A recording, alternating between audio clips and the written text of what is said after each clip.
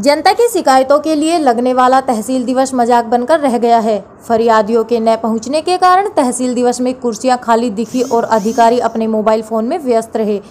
तहसीलदार सुरेंद्र सिंह देव ने बताया कि तहसील दिवस में सात शिकायतें दर्ज हुई जिनमें से चार शिकायतों का निस्तारण किया गया और जो संबंधित विभागों के अधिकारी तहसील दिवस में अनुपस्थित रहे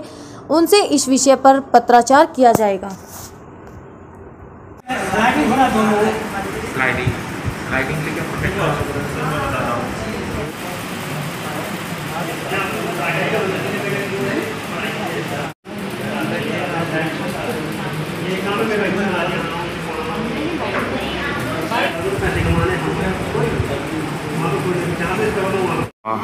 देखिए आज कल तहसील कर्णप्रयाग में तहसील, जो पहला तहसील दिवस था माह का,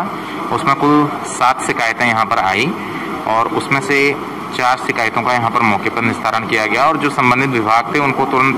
जो जनता की समस्याएँ थी, उनका निराकरण करने के लिए निर्देशित किया गया और उसके लिए नियत तिथि भी तय की गई है। और तीन जो शिकायतें थी वो दूरसंचार विभाग से संबंधित थे, क्योंकि उनके कोई प्रतिनिधि यहाँ पर पहुँचे नहीं थे तो उनको संबंधित को तहसील से जो है उनको पत्राचार किया जाएगा और उनका भी यथासंभव निराकरण का प्रयास किया जाएगा।